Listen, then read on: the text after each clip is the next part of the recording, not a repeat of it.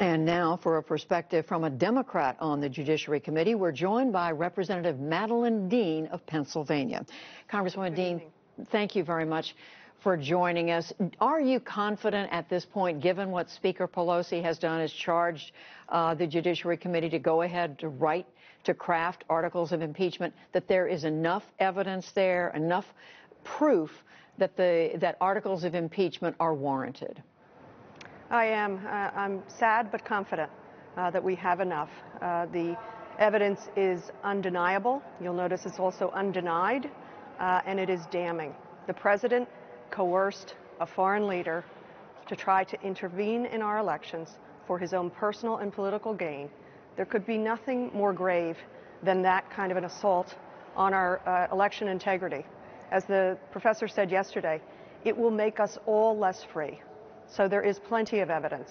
But I find it puzzling that the Republicans or the administration say, oh, you don't have enough evidence, in the face of the president not answering lawful subpoenas.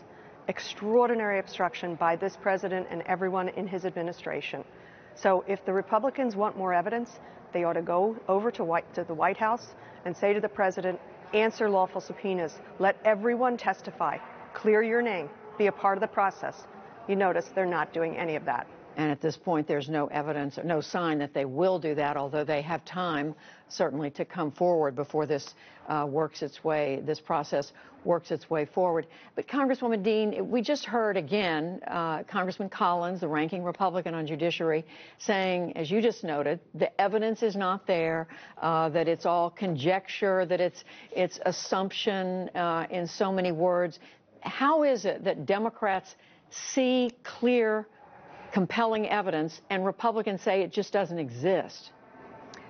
I think they're actually not saying it doesn't exist. They're not speaking to the evidence. You've seen them pound the table over process, process, process, uh, due process. In fact, this is offering the president uh, due process, and he's not taking advantage of it. And so there's plenty of evidence. Uh, and so I don't understand what uh, Mr. Collins is talking about. You notice they don't want to talk about that phone call.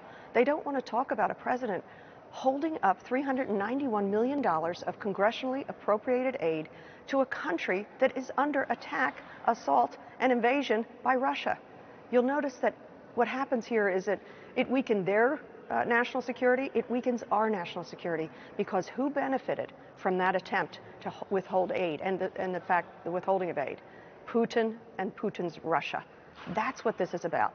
Uh, Americans should have uh, a chill from the horrifying obstruction by this president uh, and the use of his office, the abuse of his office uh, for personal political gain. Well, it is not just Congressman Collins and other Republicans. They are now the, the people who support the president, who are listening to that argument, who are saying they too don't hear solid evidence. What more could the Democrats, can the Democrats do to put a compelling case together that, that the Republicans and, and their supporters say just it, they don't see? Well, I think they just need to go back and look at uh, the testimony of the public witnesses. You know, uh, Intelligence Committee had 100 hours of depositions that were not public testimony, but we have a report on that. Then we had, uh, I think it was 12 witnesses uh, who were publicly testifying.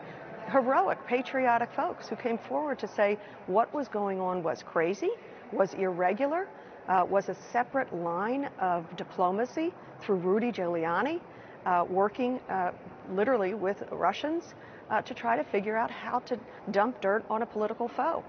The evidence is there. I, I think the American people were very impressed with people like Dr. Hill. She had no interest in coming forward.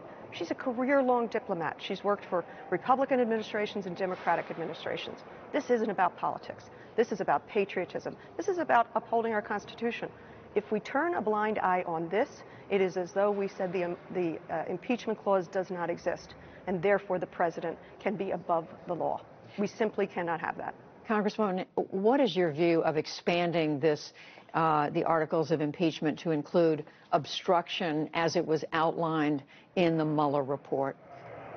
We know there are many um, considerations in terms of what articles uh, will be drafted. As a member of the Judiciary Committee, I think it would be uh, inappropriate for me to speculate on the articles, but certainly uh, the, the, the, events surrounding Ukraine, before and after, uh, the, the seeking by this president of interference with our elections. Publicly, he called on Russia to interfere. Publicly, he called on China to interfere. Uh, and privately, uh, by record of the call that he released, it's the only document he's released thus far, uh, he asked Ukraine to interfere. Uh, so I, I, think I'm not going to speculate on the articles because I'll be a part of that conversation as a member of the Judiciary Committee. Uh, what I hope is that our articles are very uh, concrete, specific, thoughtful, and rooted in the law. So if I were to ask you, do you think it strengthens your case to add uh, an article that encompasses obstruction in the Mueller report? I, I don't know if that strengthens our case.